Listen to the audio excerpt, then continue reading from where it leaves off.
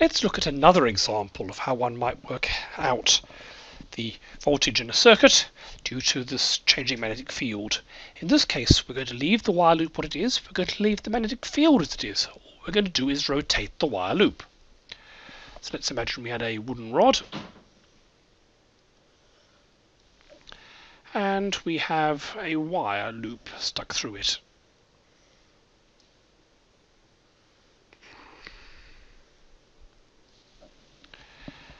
And let's have this angle here as theta. And we'll get it rotating at some angular speed omega I would have a magnetic field that's vertically upwards and quite uniform B. And we'll give this thing a height h and a width w. The question is what is the voltage around the loop you could measure it if, say, you had the two wires not quite join up but go off here to a voltmeter or something like that, or an oscilloscope.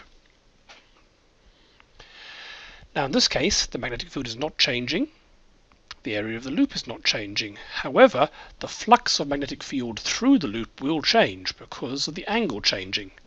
When this wire rod is vertical, when the wire loop is vertical, there will be no flux through it. The magnetic field lines will just go past. If you remember the definition of a surface integral, the vector has to be coming into the surface, not just going skimming past it. So what is the flux? If you remember the flux in a situation like this is going to be equal to the magnetic field dotted with the normal vector times the area. So the normal vector is going to point in that direction. And that angle there is going to be theta, just the same as this angle here.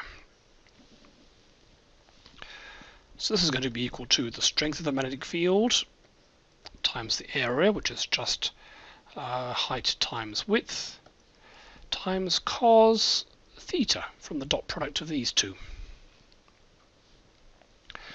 So as it starts off flat, there'll be a large flux as indeed for zero, as angle gets larger and larger, the flux will get smaller and smaller. The perpendicular component of the area, if you like, gets smaller and smaller until when theta is 90 degrees, pi over 2 radians, the flux will be zero, and then it will start going negative. It will be the other way around.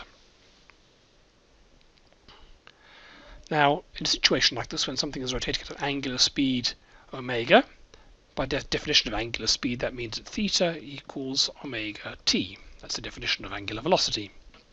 So we have that the flux is equal to strength of the magnetic field, height times width times cos omega t.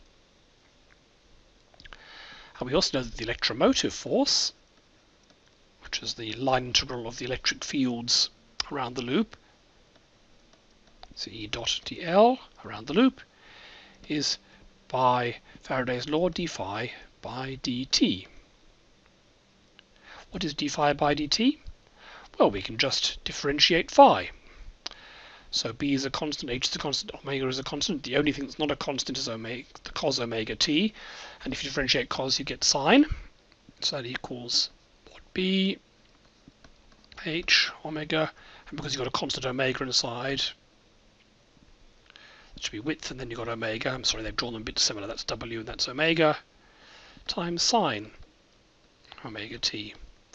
Actually minus.